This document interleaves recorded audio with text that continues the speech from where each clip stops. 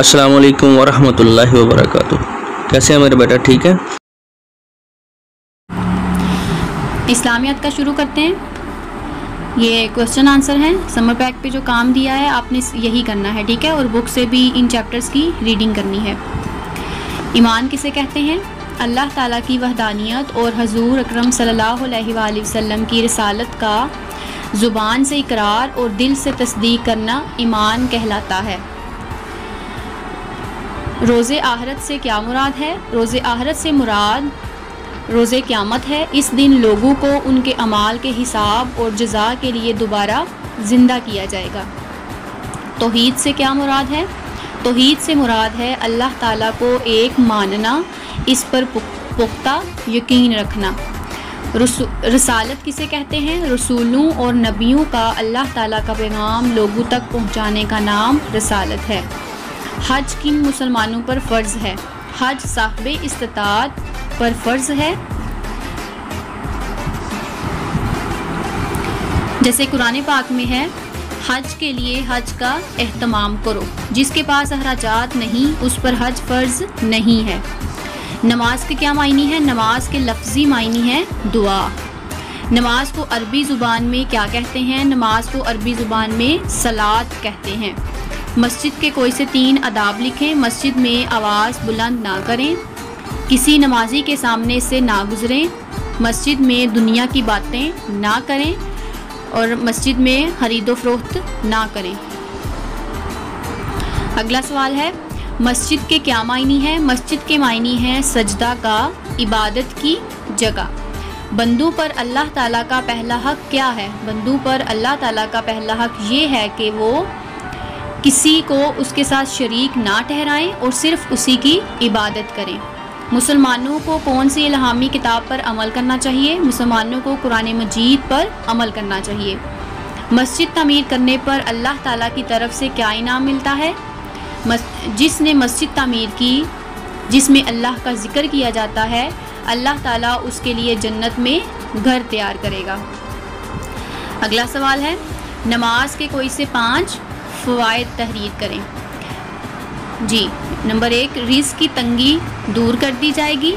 Number दो, पुल से रात से बिजली की तेज़ी जैसे गुजरेगा। नंबर तीन, अजाब कब्र से महफूज रखा जाएगा। नंबर चार बगैर हिसाब के जन्नत में दाखिल कर दिया जाएगा। नंबर पाँच, नामा माल दाएँ हाथ में दिया जाएगा। आगे है हकूक़ुलबाद में किस किस के हकूक़ शामिल हैं? सिर्फ़ नाम लिखें। मुलाजमों और हिदमात गारों के हकूक़, हमसायों, वालदेन, औरतों के जोजैन रिश्तेदारों, मरीज़ों, मेहमानों, मज़दूरों, यतीमों, कैदियों, ग़ुलामों वगैरह के हकूक़ शामिल हैं। वालदेन के हकूक़ बयान करें। वालदेन से हसन सलूक को इस्लाम ने अपनी असासी तालीम करार दिया है। हर मर्द और औरत पर अपने माँ बाप के हकूक़ अदा करना फ़र्ज़ है। हजूर अक्रम वसल्लम ने वालदेन की खिदमत करने को जहाद अफजल करार दिया है। आगे है, यतीमों के हकूक़ बयान करें। यतीमों को ये हक हासिल हुआ है कि उससे हसन सलूक किया जाए और उनकी ज़रूरियात पूरी की जाएँ। अगला सवाल है हमसायों के हकूक़ बयान करें? हज़रत अब्दुल्ला बिन उमर रज़ी से रवायत है कि हजूर रसूल अलैहि वसल्लम ने फरमाया जब्राईल बार बार पड़ोसी के साथ हुसन सलूक की तकीद करते रहे। यहाँ तक कि मुझे लगा, शायद अल्लाह ताला हमसाए को वरासत में शरीक कर देंगे। मेहमानों के हकूक़ बयान करें। मेहमानों से हुसन सलूक करने की तलकीन की गई है और मेहमानों को अल्लाह ताला की हिदमत करार दिया गया है। रसूल सल्लल्लाहु अलैहि वसल्लम के घर जब कोई मेहमान आता तो आप सल्लल्लाहु अलैहि वसल्लम उसकी हिदमत में कोई कसर ना छोड़ते। जी, दुरुस्त जवाब के दायरा लगाएँ। हर मुसलमान मर्द और औरत पर दिन में कितनी नमाज़ें फ़र्ज़ हैं? तीन, पाँच या सात? पाँच नमाज़ें फ़र्ज़ हैं। कलमा तयबा अरकान इस्लाम का कौन सा रुकन है? तीसरा, दूसरा, पहला। तो कलमा तयबा अरकान इस्लाम का पहला रुकन है। ठीक है, जिसे तोहीद भी कहते हैं। फ़र्ज़ रोज़े किस महीने में रखे जाते हैं? मुहर्रम हराम रमज़ान मुबारक या रबी अव्वल? फ़र्ज़ रोज़े रमज़ानुल मुबारक के महीने में रखे जाते हैं। हज किस महीने में अदा किया जाता है? मुहर्रम में, रजब में, जिलहज में।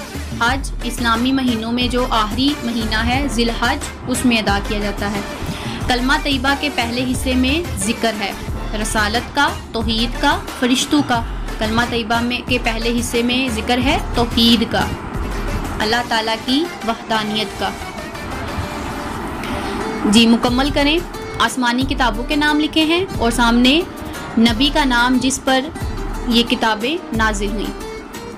ज़बूर हज़रत दाऊद अलैहिस्सलाम पर, इंजील हज़रत ईसा अलैहिस्सलाम पर, तौरात हज़रत मूसा अलैहिस्सलाम पर और कुरान मजीद हज़रत मोहम्मद सल्ला वसल्लम पर नाजिल हुआ।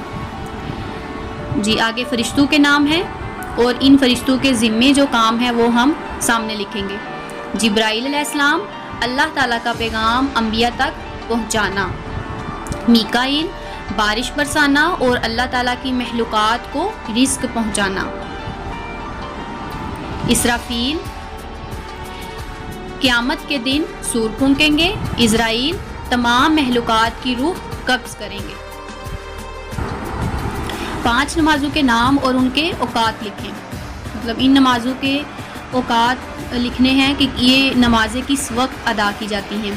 फजर सुबह चार बजे, जहर तकरीबन एक बजे, असर पौने पाँच पाँच बजे और मगरिब साढ़े छः बजे। इशा आठ बजे, ठीक है? ये तकरीबन में इसका टाइम लिखा हुआ है, क्योंकि इसका टाइम चेंज होता रहता है।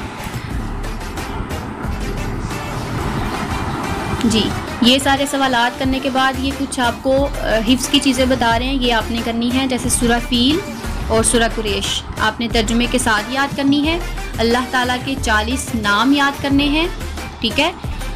और, कापी और किताब पर करवाया गया तमाम काम याद करें। पाँच वक्त की नमाज़ और कुरान पाक की तिलावत को अपना मामूल बनाएँ। ठीक है बेटा? आपने इसकी पाबंदी ज़रूर करनी है। उसके बाद मस्जिद में दाखिल होते वक्त और मस्जिद से निकल, निकलने, निकलते वक्त की दुआएँ याद करें। ठीक है? ये सारा काम भी आपने ज़रूर करना है। ना ख्याल रखिएगा। अल्लाह हाफिज़।